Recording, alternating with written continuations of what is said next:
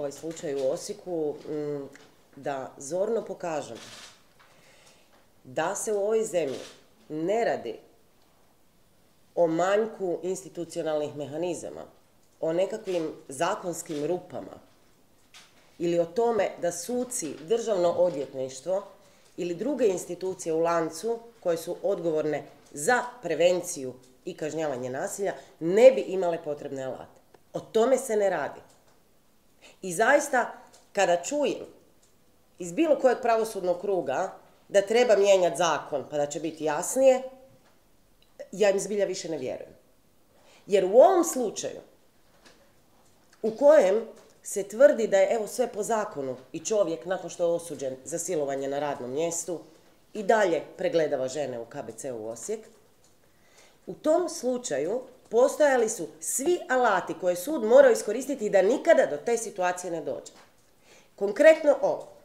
Sud je imao po zakonu mogućnost tokom kaznenog postupka, nakon potvrđivanja optužnice primjerice ili uz presudu, kada je dao presudu, izdati takozvanu mjeru opreza koja pokriva čitavo vrijeme kaznenog postupka sve do pravomoćnosti i to mjeru opreza zabrane obavljanja djelatnosti.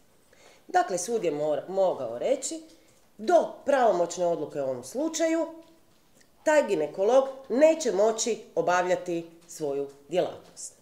Ako bi naravno pravomoćna odluka bila drugačija, onda će mu se i ta mjera naravno ukinuti. Sud je to propustio napraviti. Kao što je sud u slučaju jučerašnjeg femicida propustio pritvoriti zlostavljača. Pitanje je zašto to sudovi rade ako imaju alate kojima mogu, dakle ne samo prevenirati ovakve situacije i sankcionirati ih, nego i buduće situacije. Jer sve žene koje idu u KBC Osijek danas idu kod čovjeka koji je osuđen za silovanje na radnom mjestu svoje pacijentice. Zamislite tu situaciju. Evo da vam usporedno kažem. Jel bi i kod nas pustio svoje dijete u školu kod primjerice učitelja koji je doduše nepravomoćno osuđen recimo za pedofiliju na radnom mjestu? Bi vraga, ne bi.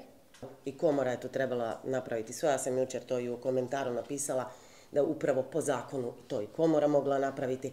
Ali gledajte, zašto nisam to naglašavala? Zato što smatram da su primarne institucije ove zemlje koje služe prevenciji i sankcioniranju nasilja i udaljavanju nasilnika sa mjesta na kojima dalje može vršiti nasilje, jesu institucije države, a ne organizacije koje e, su da pa, ono, cehovske organizacije. Ja? Dakle, da, i oni su to trebali napraviti, ali u prvom redu je to trebao napraviti sud. Zašto? Zato što sud ima sve alate apsolutno sve alate da makne tog čovjeka sa radnog mjesta već u trenutku kad je optužnica bila potvrđena. I nije to napravio. Da pa će reći ću vam još jednu stvar. Mjere opreza bile su na taj način da, da do pravomoćnosti definirane i u prethodnoj iteraciji zakona o kaznenom postupku.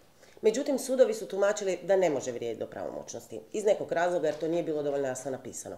I znate šta? Onda se mijenio zakon zbog toga da im se jasno napiše da vrijedi do pravomoćnosti. Jel pomoglo? Nije pomoglo. Ja? Zašto komora to nije napravila, to morate pitati njih. I da, oni su isto tako trebali pokrenuti disciplinski postupak i isto tako do toga nije došlo. I mi jesmo obećali još u, u predizborno, e, predizborno vrijeme i to ćemo sada napraviti u suradnji sa svima koji rade na ovom slučaju, da ćemo uputiti izmjene zakona o liječništvu kako do ovakvih situacija više ne bi dolazilo.